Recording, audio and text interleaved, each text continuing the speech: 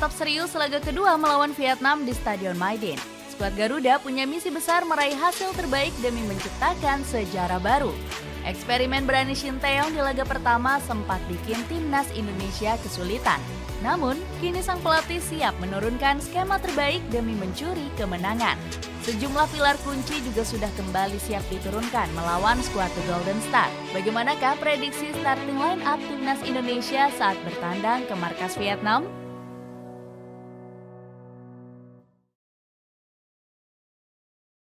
Eksperimen baru Shin Taeyong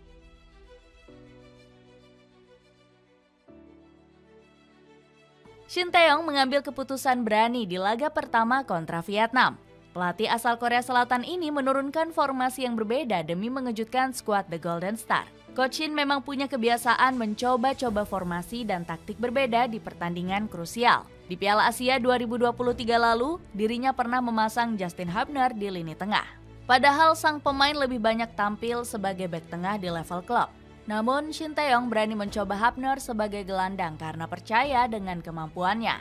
Selain itu, Elkan Bagot juga pernah menjadi kelinci percobaan sang pelatih. Back tengah milik Bristol Rovers ini pernah dimainkan sebagai starter di gelaran Piala Asia 2023. Bagot dipaksa menjadi ujung tombak saat timnas Indonesia bertemu Jepang. Namun strategi ini justru sukses mengacaukan koordinasi lini pertahanan skuad Samurai Biru. Sementara di laga pertama melawan Vietnam, Shin Taeyong berani memakai formasi 4-4-2. Skema ini dipilih karena absennya Asnawi Mangkualam, Elkan Bagot, hingga Jordi Amat. Alhasil Shin Taeyong harus memainkan Yakob Sayuri sebagai back sayap kanan. Nathan Choaon yang baru dinaturalisasi juga langsung tampil sebagai back sayap kiri. Shin Taeyong juga berani memasang Hoki Caraka sebagai ujung tombak di lini depan. Padahal timnas Indonesia punya striker yang lebih berpengalaman seperti Ramadan Sananta. Lini pertahanan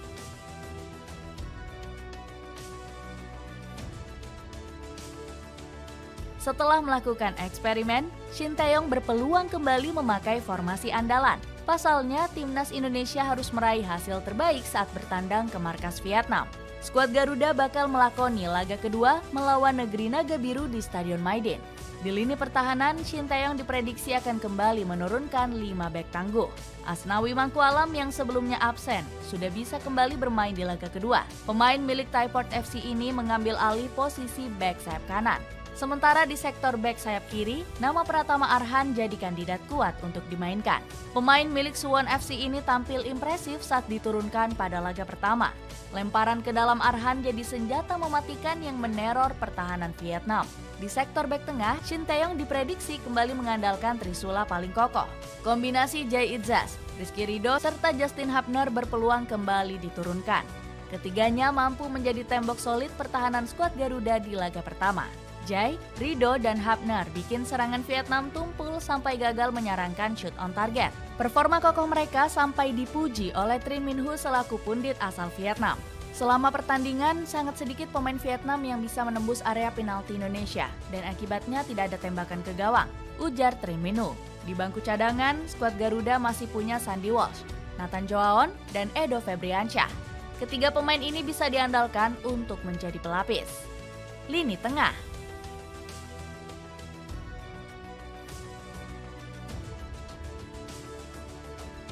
Timnas Indonesia diprediksi bakal kedatangan amunisi baru di posisi gelandang.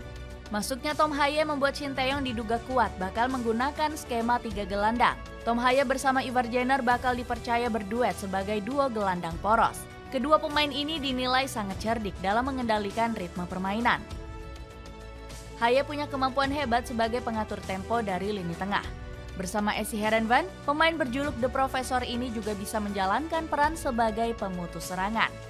Catatan 45 intercept di tahun 2023 menjadi bukti Haye bisa diandalkan memutus serangan Vietnam. Bahkan Tom Haye masuk ke dalam jajaran 10 pemain dengan intercept terbanyak.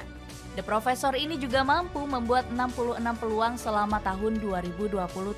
Shin Taeyong pernah memuji Haye sebagai salah satu pemain berbahaya di Liga Belanda. Kombinasinya dengan Ivar Jenner di lini tengah akan mempercantik permainan skuad Garuda Shin Taeyong juga tak boleh melupakan jasa wonderkid merah putih Marcelino Ferdinand. Pemain KMS Kadenze ini akan mengambil peran sebagai kreator serangan. Kemampuan itu sudah terbukti pada laga pertama saat menghadapi Vietnam. Marcheng terus meneror pertahanan skuad The Golden Star selama 90 menit penuh. Menjadi gelandang serang, Marcelino beberapa kali menciptakan peluang berbahaya untuk rekan-rekannya. Lini serang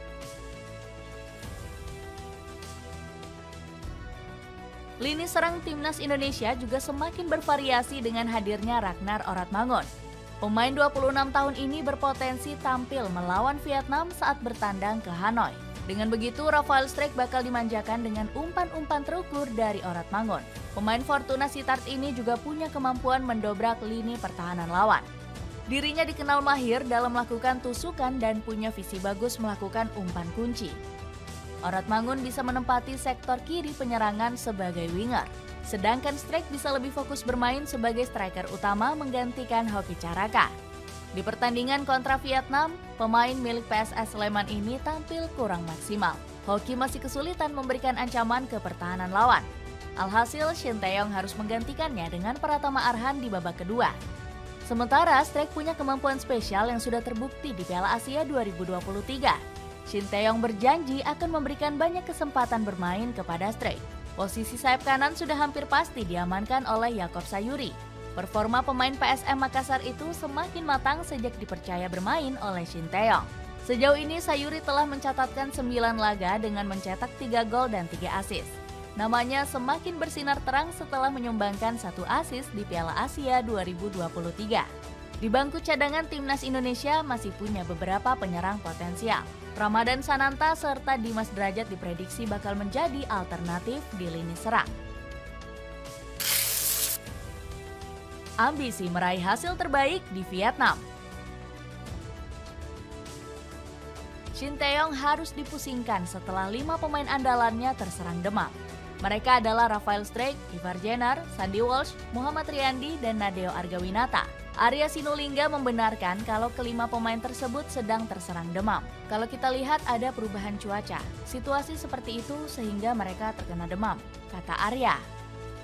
Masalah kebugaran ini bakal menjadi batu sandungan timnas Indonesia di markas Vietnam. Pasalnya, skuad Garuda harus mewaspadai amukan mengerikan dari tim tuan rumah. Philippe Petrosier selaku juru taktik Vietnam juga berani mengambil resiko besar. Intinya kami harus berani ambil resiko, karena kami melawan tim sekuat Indonesia. Kami optimis di laga berikutnya, karena kami punya kekuatan di serangan balik. Saya juga sudah mendapatkan informasi-informasi bagus dan jadi modal buat kami nanti. Tegas Trosier. Ambisi Trosier nampaknya bakal terhalang oleh target besar Shin Taeyong. Pelatih Korea Selatan ini enggan mengulang memori kelam saat bertandang ke Maidi National Stadium. Shin Taeyong berambisi meraih tiga poin penuh untuk bisa menjauh dari kejaran Vietnam. Seandainya meraih kemenangan, Indonesia bakal mengemas tujuh angka di grup F. Dengan prediksi yang diturunkan Shin Taeyong, akankah skuad Garuda kembali mengalahkan Vietnam hingga berpotensi menciptakan sejarah baru?